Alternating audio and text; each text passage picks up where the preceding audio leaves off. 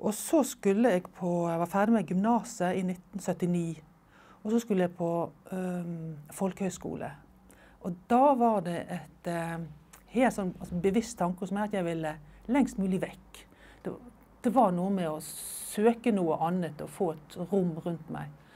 Uh, og da så jeg på folkehøyskole bl.a. i Alta. Men den var kristen, så den ble strøket ut av listen. Men så, så kom jeg over en uh, folkehøyskole i Midt-Gudbrandsdalen. Og det var langt på den tiden i 1979. For uh, da fløy vi ikke som vi gjør i dag. Da var det, da var det tog til Oslo, uh, litt over syv timer. Og så var det fire timer med tog opp i Midt-Gudbrandsdalen til, til Hundorp. Så gikk jeg på folkehøyskole der og gikk på en, en natur- og friluftslinje. og da traff jeg jo eh, min første kjæreste. Og det, altså det, var jo helt et supert folkehøyskoleår. Uh, og da når jeg kom, kom, hjem igjen etter hvert, så kan jeg huske at jeg gikk på uh, Ole Bulls plass. For jeg strevde jo med disse tallene. Jeg hadde til og med besøk av henne i Bergen. Og mine foreldre ante jo ingenting. Trodde dette var en venninne som jeg hadde møtt på. Og det var det jo, men det var også noe mer. Um, og jeg husker når jeg gikk på Ole Bulls plass i eh, Bergen, så plutselig bare så datt det ned i hodet mitt at her er jo en kvinnebefolkning her som man kan forholde seg til. Man behøver ikke dette her heterostyret. Uh, og det opplevde jeg som en bedunderlig vidunderlig frihets, frihetsfølelse. Uh, og da var det etter hvert, ikke så lenge etterpå, at jeg uh, Så begynte jeg å orientere meg litt i sånn feministiske kretser. Og så var jeg på et 8. mars-arrangement. Jeg tror det var i turnhall, der hvor konsertballet ligger nå, og det er forsvunnet for lengst. Men der var det et 8. mars-arrangement. Og så gikk jeg på min sånn litt Og der var det en representant for lesbiske. Og, og så eh, på litt min sånn småborgerlige måte så gikk jeg bort og sa syntes det var veldig fint da, at det sto noen her for lesbiske. og så, og så eh, eh, svarte hun som sto der, har du vært sammen med en dame? Og jeg fikk jo sjokk og tenkte hvordan kan hun vite det? Kan hun se det for meg? Og det var Ellen Mortensen. Ja.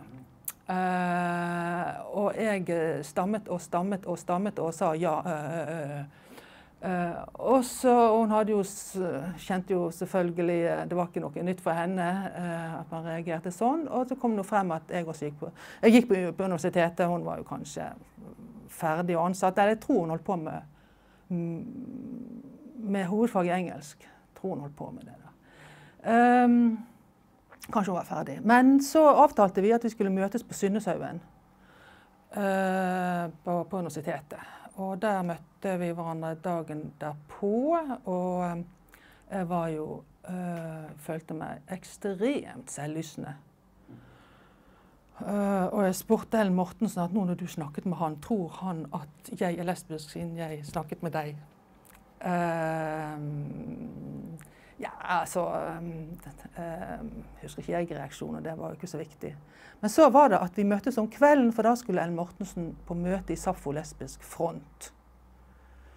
Uh, og jeg husker vi satt på Holbergstuen. Vi møttes på Holbergstuen da om kvelden og skulle bort til Saffo lesbisk front. Og da skulle jeg møte lesbiske for første gang. Uh, og det var noe av det mest uh, for jeg var jo ikke lesbisk da jeg var, var på folkehøyskole. Vi hadde ikke ord på det. Vi var ikke lesbiske. Vi, vi, vi var ikke kjærester engang. Uh, så dette var jeg kjempespent på, da. Og da gikk vi Så gikk vi bort, da. Og Saffo Lesbisk Front holdt til med en del andre kvinnegrupper. Dette var jo på slutten av Altså Det var jo på begynnelsen av 80-tallet, på slutten av den andre si, kvinnebevegelsen da, som som hadde vært mest på 70-tallet. da. Så gikk vi bort der, og eh, jeg husker ikke så mye ut av det møtet. Jeg var sikkert rimelig i sjokk. Eh, men det var jo veldig hyggelig, og jeg, og jeg mener jeg fikk jo noen, fikk jo noen avtaler da seinere at vi skulle møtes fordi det skulle være en kvinnefest og, og, sånt. Men jeg husker veldig godt når kom hjem, for jeg bodde fremdeles hos mine foreldre. og så satt min far i, i, den stolen han pleide å sitte i, og så sa han ja, Merete, hvor har du vært? Har du vært på kino? Nei, sier jeg, jeg har vært eh, på møte i Sapfo lesbisk front. Jeg vet ikke om de fikk med seg, fikk med seg så mye ut av at det var Front og, og Sappho, men de bet seg i hvert fall merke at det var noe med lesbisk. Eh, jeg tror stemningen var ganske rolig. Det ble tatt på en nokså dannet måte. Men innholdet var kanskje ikke så dannet. Eh, jeg skulle ut til psykiater, da. Det var jo et eh, forslag, da. Og min mor var jo bekymret for seg selv, da. Hun skulle jo ha barnebarn. Men, eh, men eh, jeg hadde jo jeg hadde et sosiologi-grunnfag bak meg, og så holdt jeg på med offentlig administrasjon. Så som en del ut av det, og litt dette med Ja, jeg hadde begynt å, hadde begynt å lese meg opp. Så jeg var ganske kjapp med å svare at var, hvis det var noen som skulle gå til psykiater, så var det de som skulle lære litt.